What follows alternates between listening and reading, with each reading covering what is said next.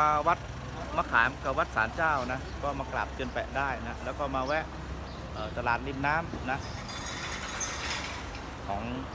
วัดสารเจ้านะก็มีของขายเยอะนะ ตลาดอย่างนี้นะ ก็แวะมา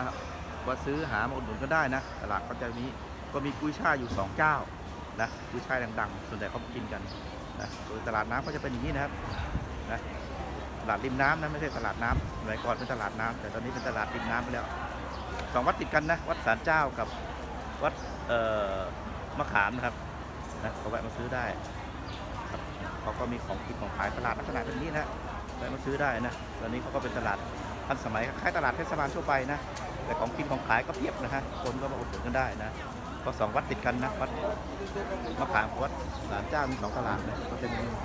นะเขามาซื้อหากันนะครับครับก็คนจะเยอะหน่อยนะวันเสาร์อาทิตย์นะครับ โบสถก็สวยงามนะนะฮะโบสถสวยงามนะนี่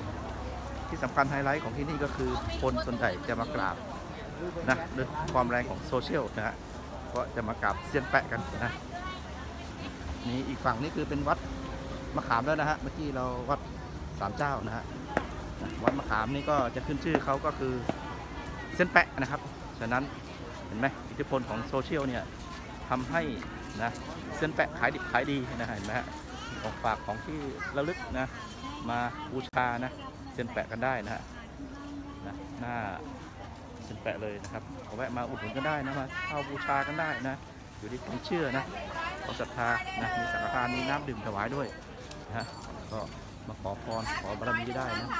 เซียนแปะนะก็สามเซียนแปะจะเป็นอย่างนี้นะคนเขาเข้าคิวกันเยอะหน่อยนะก็เหนื่อยหน่อยนะ คน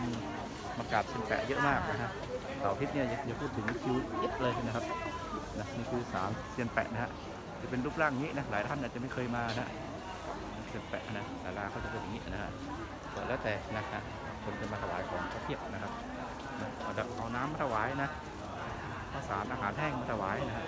เซียนแปะนะคนก็จะเยอะหน่อยนะนี่ก็คือไฮไลท์ของที่นี่นะเสร็จแปะนะ กราบได้นะแล้วแต่ก็คนจะเยอะหน่อยวันเสาร์ที่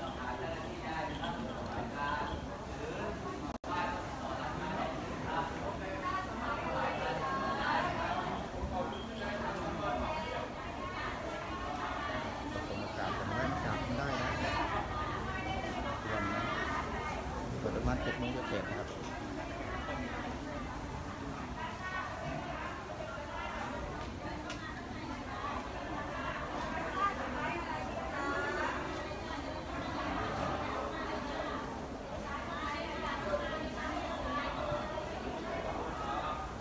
แปะน้ำมากราบกันได้นะครับ